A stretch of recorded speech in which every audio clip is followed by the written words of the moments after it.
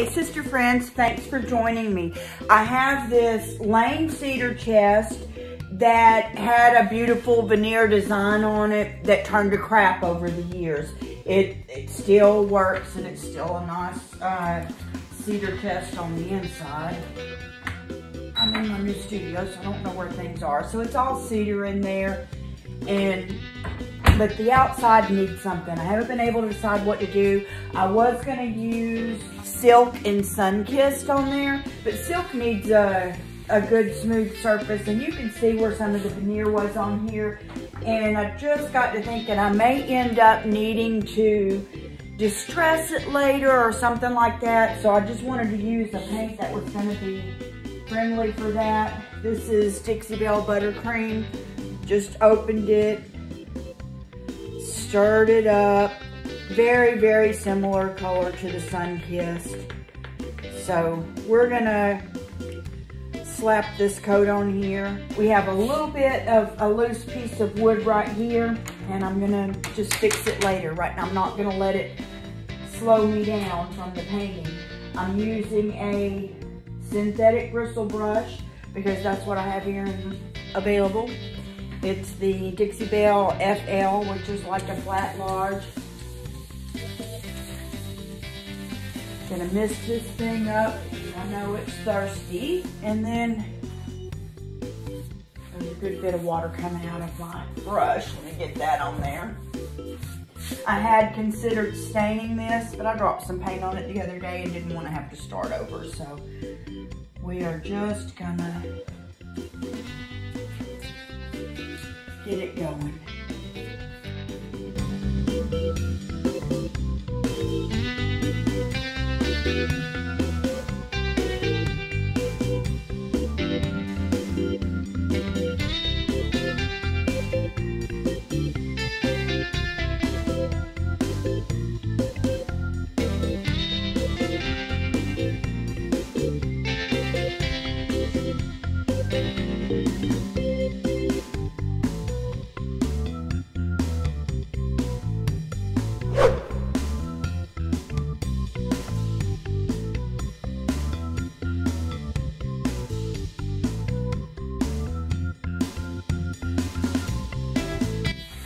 So just because you find, when you find an old piece and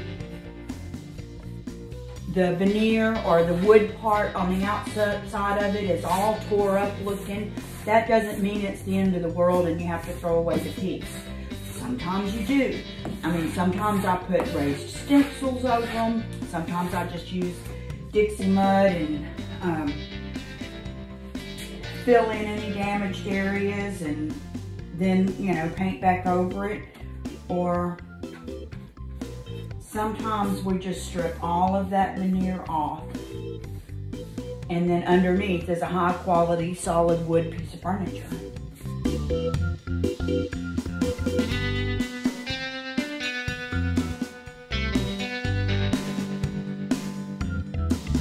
Okay, I'm going to continue my way around here, around this piece raise this up to show you.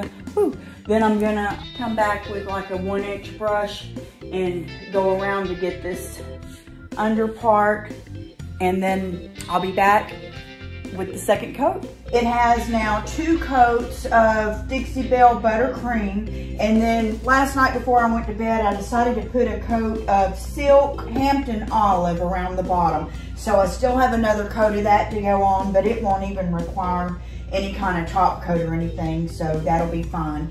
And I want to make this thing really cute, but move it on out of here. I mean, I'm, I'm here to flip furniture, right? So I decided to use a transfer. Brought myself three to choose from. Floral Romance, which is gorgeous and it comes in four sheets that look like that. I love those big flowers. I love this one. It's called uh, Field of Flowers, and I'm absolutely going to use it in the very near future, but I decided to go with Magnolia Garden. Um, magnolias are the Louisiana state flower where I'm at here. They're very pretty and delicate And honestly, I'm thinking that the person this is gonna attract, there's two, a couple of people that this would attract as far as like my end buyer. And that's gonna be, if I do it, well, maybe three or four, but if I do it, say in a farmhouse style and it becomes somebody's coffee table, or we could do something like a steampunk or something like that and have it be somebody's um, coffee table. But I, I'm envisioning it being at the foot of the bed in somebody's guest room. And most of the people who, gosh, this sounds terrible. The Lane cedar chests were a big deal, you know, many years ago, more than they are now correct me if I'm wrong, maybe they're a big thing now too, and I just don't know about it because I fell out of fashion. but anyway, I think that I feel in my heart that, you know, it's gonna be a little old lady from Pasadena who only drives her car to church on Sunday who's gonna want it. And so that's who I wanna have in mind. And magnolias are beautiful and they're romantic and they're feminine and they re represent something here in Louisiana, you know, where I'm at. They mean something to us because it's our state flower. So that's what I decided to do. So there you go, my explanation. And if it sounds like something old and bad, because I didn't know any better, I'm sorry. okay, let's see what we got. We got the stick to rub it on with. And instructions. And four sheets come with this. And part of why I didn't use the floral romance, which is what I envisioned for this to begin with, was I didn't think, I just couldn't conceptualize quick enough in my mind what to do. I still see it with the big roses and things on there, but because of where they connect to each other, the sizes they are, and the amount of cutting out I would have to do, and back to wanting to hurry up and flip this piece, I decided to go with something I thought would sell well and something that I thought would um, be easy for me to cut up and put in different places. So I absolutely love this big sheet. I'm just gonna show you the sheets, then I'm gonna cut out the ones that I think I'm gonna use, and then we'll come back and decide on placement. This has a nice swag. Oh my goodness, this has a nice swag and it has a, a nice big blossom and a nice curved one. So that definitely is in the running there. This one has a nice big blossom with separated leaves, small set of blossoms, and some cotton. I don't know if I'm gonna use cotton on here or not. So I'll probably just cut out the magnolias and maybe the stick down here. And here's, these almost look like, these look more like gardenias to me than they do magnolias because they're so small. There's a couple of decent blossoms facing in different directions and leaves and sticks and all that. So I'm gonna cut out all the blossoms off of these three pages. Save this because I don't know. I mean, it might could go up top. I'm not gonna say no to anything right this minute. But what I, I do know is I'm gonna distress it a little bit. I'm gonna use some Dixie Dirt on it.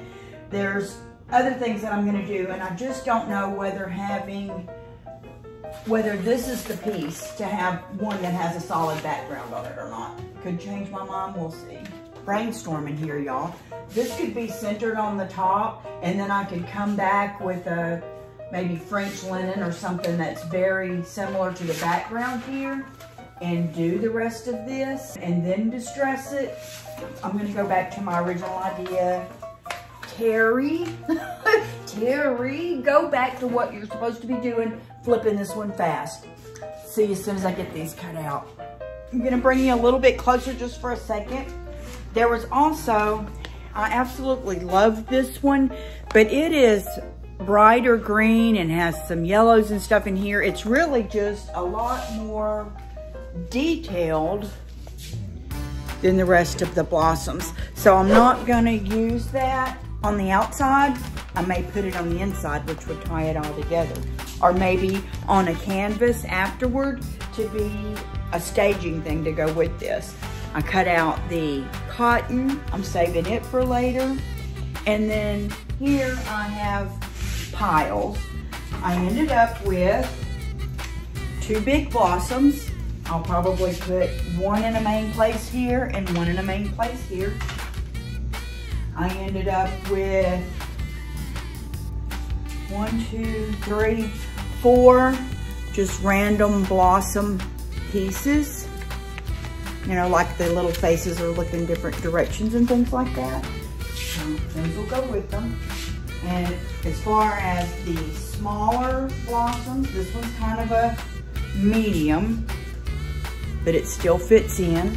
We have that, and I've got that along with the swag, which in some instances may look good right there, but I don't think this is one of them. And then, let's see, two more of the little ones that have more blossoms, but they're smaller. Random leaves, eight or nine leaves. We'll put those on after. And then we have sticks, branches, whatever you want to call it. One, two, three, four smaller ones what I'm telling myself right now is make it quick, Terri. You want to get this done. Think of the movement from here to here. I don't like it to be too straight. I don't like things too angular. We don't have, I didn't cut out a lot, but what I don't want is one little random piece here and one little random piece here to where it's not connected in some kind of way. If after we put this on, we feel like it needs more, we'll put some of the cotton on there or something.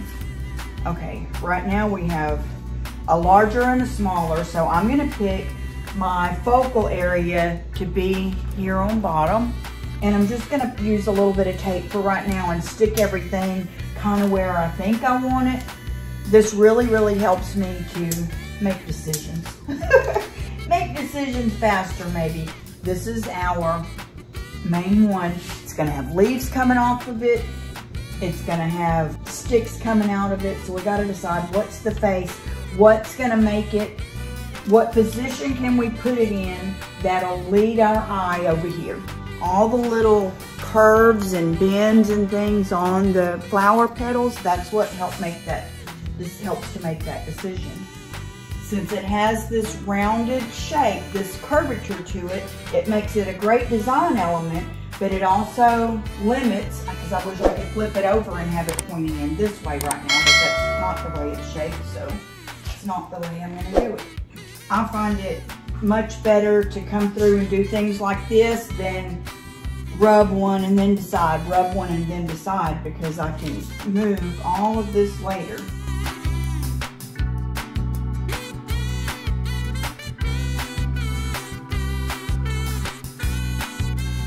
You could wait on this part. The reason I'm doing it right now is this depth of color. I need to stabilize this. I feel like it's gonna come from the leaves.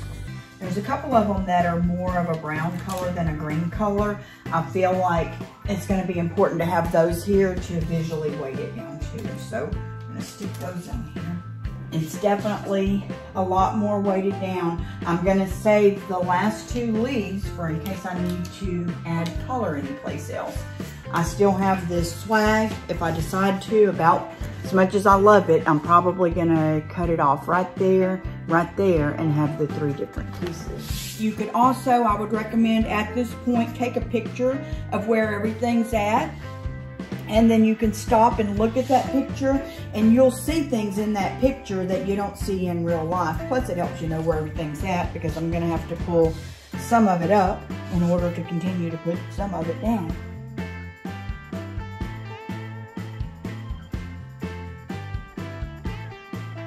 If this is a, a good tip too, it scares me a little bit because I'm thinking, oh, it's not going to adhere good. I'm going to burnish it with my finger afterward anyway.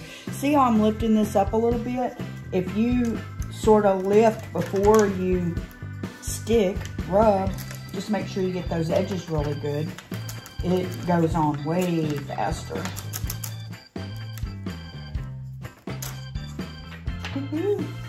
I'm committed.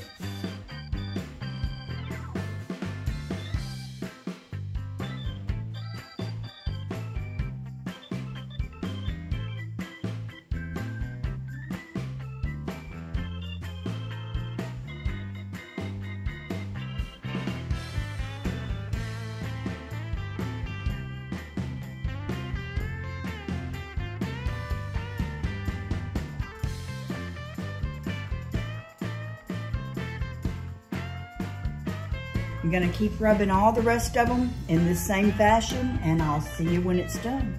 One more thing here real quick.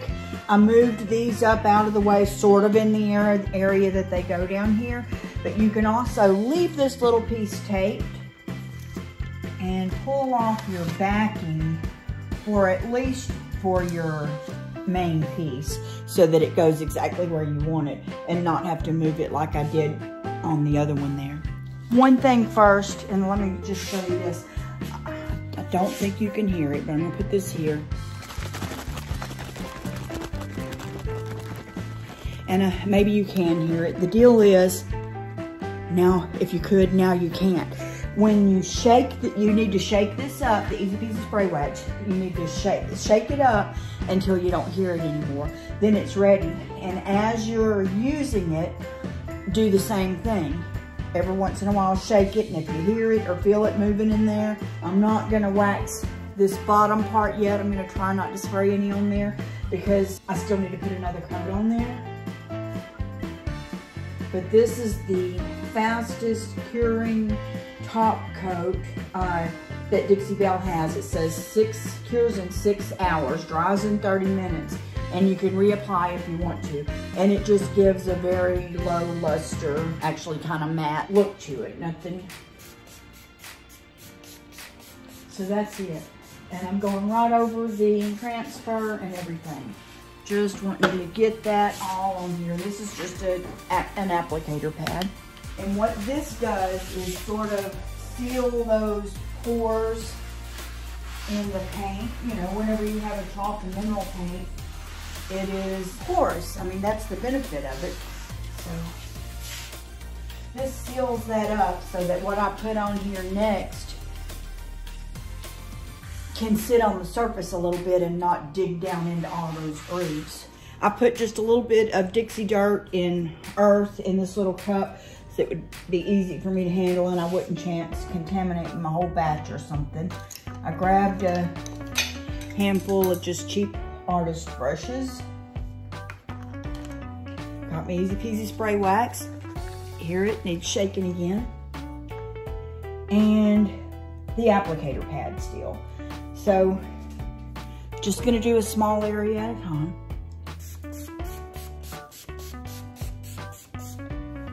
That up there. Give it a second. Uh, want some of that in. Then I'm just grabbing the brush. If you want, you can kind of wet the tips with your wax. You can do this with your regular wax and all that too. This is just easy peasy and that's what I'm into.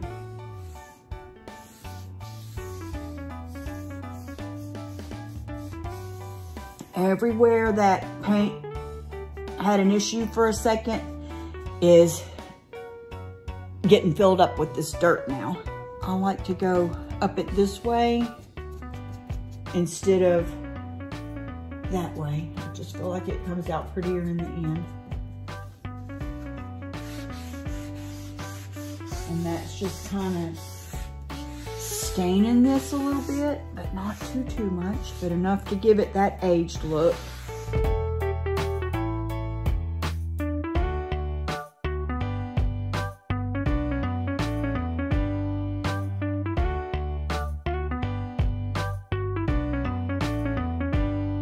One thing I want to show here too is if you do this with your applicator, it's gonna, you're gonna be rubbing hard here and not so much here and it's gonna leave wider streaks.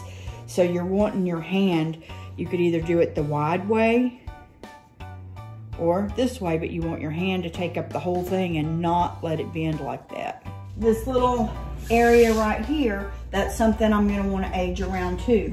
So I'm gonna stop and do that now and then pull the two together. Where's my dirt? There it is. A little goes a long, long way too.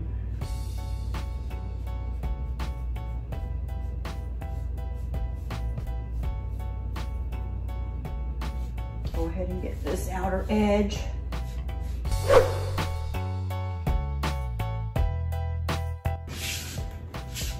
Take my old sponge, get her started.